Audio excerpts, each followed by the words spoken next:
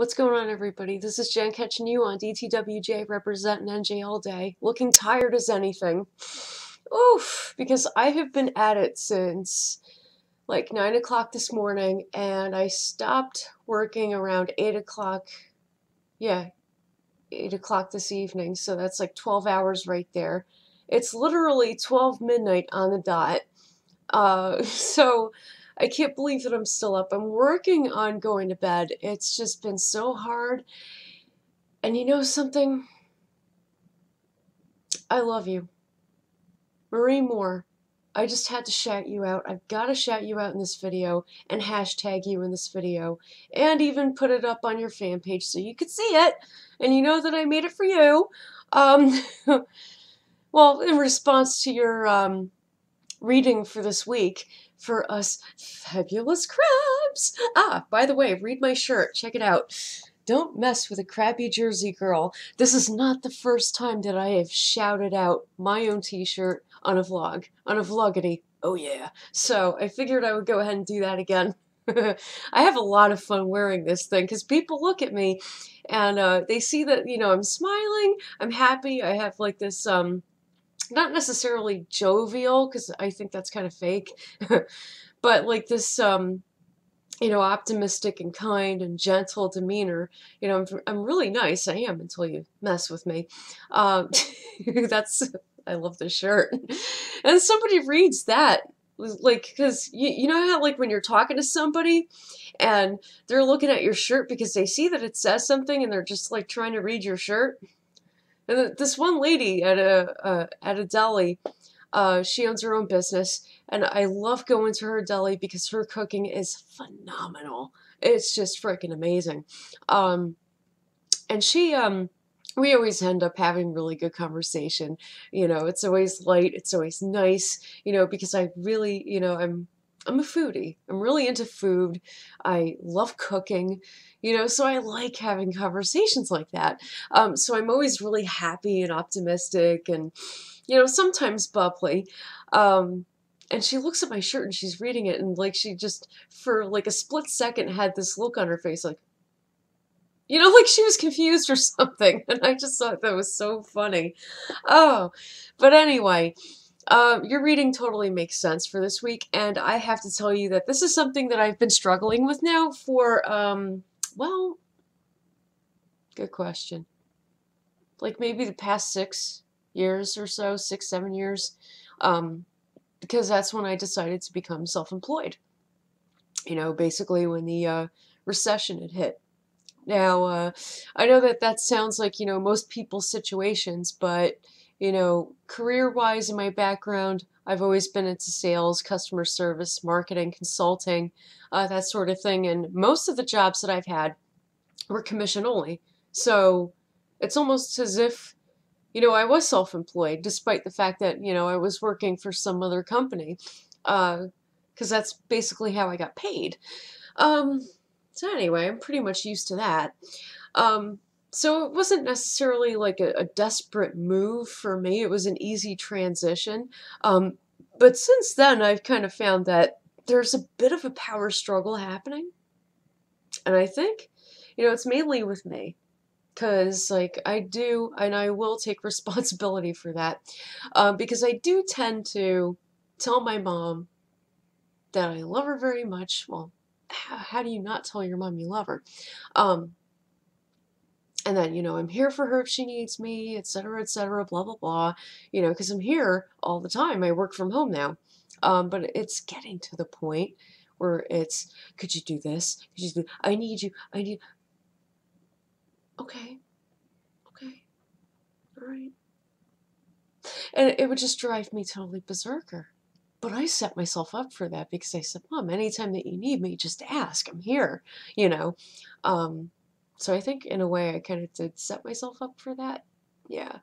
Uh, I think you know I was I was like that mainly because of the uh, hip replacement uh, surgery she got last year during March. Uh, yeah, so you know, like I'm I'm really all about her recovery. I want her to be okay. Um, so that's the reason why I've been like that, and the situation has been like that. Um, but now it's gotten to the point where, like, you know, she's recovered, she's doing better. Okay. she can handle most things by herself. you know, I'm like, Mom, I have to work. You don't understand. She's like, Jen, make up my mind for me. Which one is it? I'm like, it's not that simple. it is not that simple. I wanted to be around for you and take care of you because, well, you know, you're recovering from surgery and you're retiring. You need me.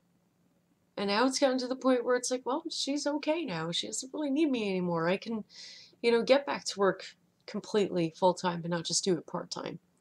And I think, you know, maybe I should have worded it that way. And I just like kind of forgot to because like my crabbiness got the best of me, you know?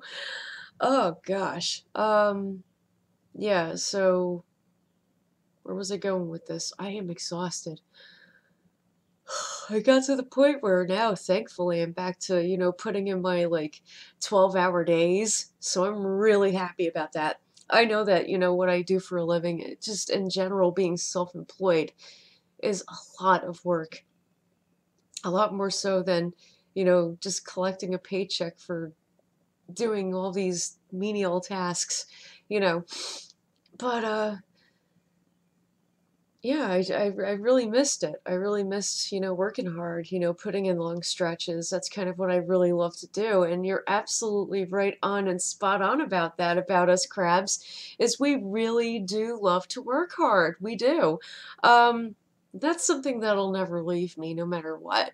And uh, it's, I think the main reason why I work so hard is uh, changing. Well, it had changed. Um, when I was in my 20s, it was money and results driven. Uh, it's still results driven, but more so toward purpose than money. I'm actually, you know, really starting to find my niche and where I belong, you know, what I'm supposed to be doing with my life.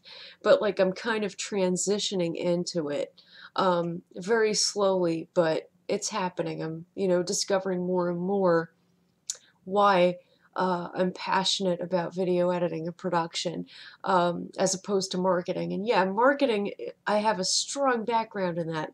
I'm talking 10 plus years now. Uh, so it's something that's probably never going to leave me, which is good. Uh, because if you're going to make it doing anything in this world, you have to have those skills. Um, but to be totally honest, my main passion is like the arts, you know, video editing and production, uh, maybe somewhat photography, music, things like poetry. I am I've always been into those things and I've always struggled to find a way to try to monetize that, you know, back before social media and while I was like in the thick of my career, anytime that I ever thought of like possibly, you know, delving into it, it would be on my free time if I had it. Uh, it would be for the joy of it. I wouldn't be putting my work out there too much. Um, a little bit, yeah. You know, I've submitted some things to my local newspaper, poems and things like that, which was awesome, but I never really stepped beyond that.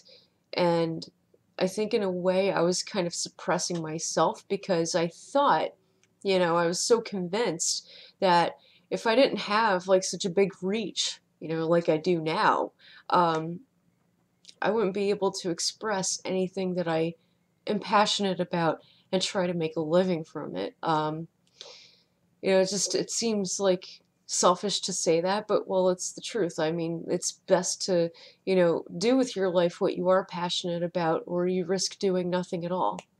And that is a quote. I have it hanging right up there. So I look at it every day and I remind myself of that. Let me show you. Ugh, it's right here. Oh, I don't know if you can read it. It says, We must absolutely do what we love, or we run the risk of doing nothing at all. And I really love the star that's hanging from it. It's so cute. You're a little star, you know? It's really endearing. It's adorable. Um, so I keep it um, unlike the the sill of my window where like uh, there are some brackets where like some old thing was hanging and it's not anymore so it's like a convenient spot to put other stuff Um, so that's kind of what I do. Like I, I like hanging little things around instead of creating like this big boring, blocky vision board. I'd rather just hang things around or decorate my uh, living space in such a way that inspires me. And uh, that always keeps me going. And um, yeah, I'm just going to continue doing that, learning. Um, I didn't go to school for it uh, editing and production. It's just something that I'm very passionate about and that I love doing. Um, the editing part is a headache, I'm not going to lie, but once once you've rendered it and it's become like a full production, it looks incredible. And you're just like, this is what the headache was for and it is totally worth it, you know? And just just seeing that every single time puts a huge smile on my face and it makes me feel really good about the fact that I could create something, that I could produce something or reproduce something, you know, should the copyrights on it allow. Um, and that always feels good to do, to be able to do that. It's just, I, I love creating things. You know, it's it's so funny because in monotheistic religions it is said that, you know, God and or man is the creator, not the woman. But truth of the matter is, is I'm actually happiest when I create. And um, that's something that I've been pursuing now for the past six years, almost seven.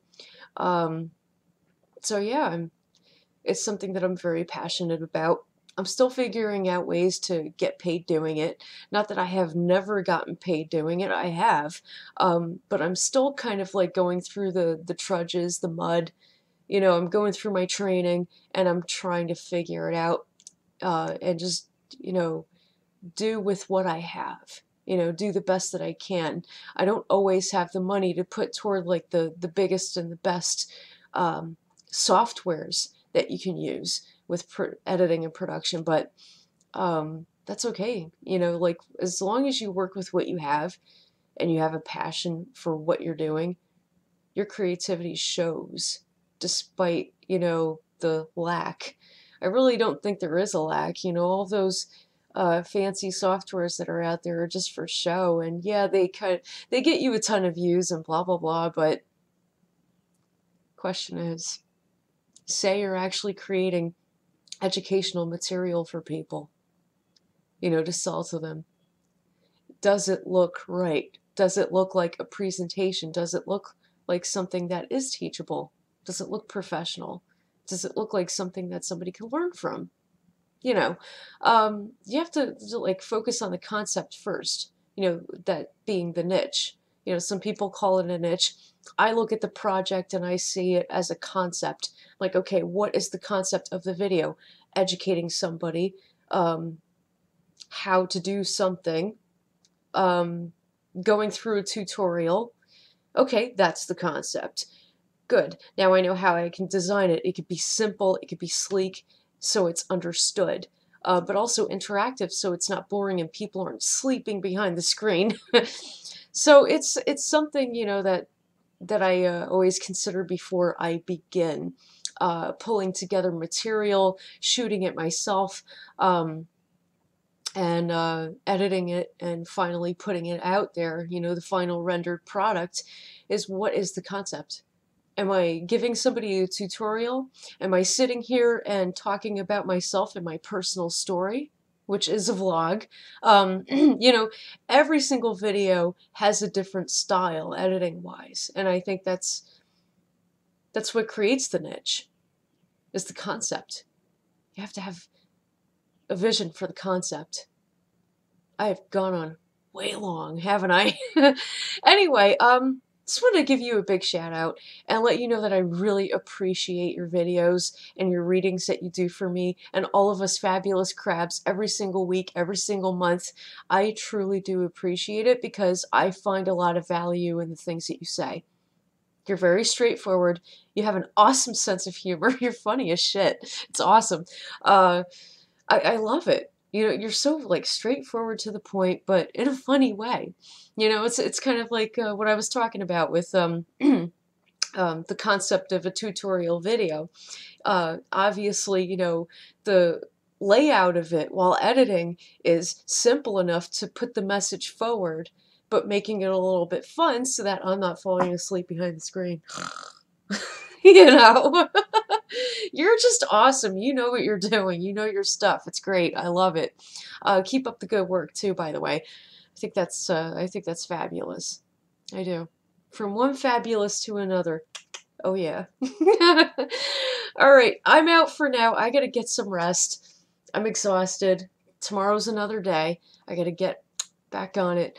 Uh, it's been Jack catching you on DTWJ. Keeping it real as always, everybody. Thank you for watching. Uh, Marie Moore, thank you again for everything. You guys don't forget to subscribe. I'll see you guys on the next one.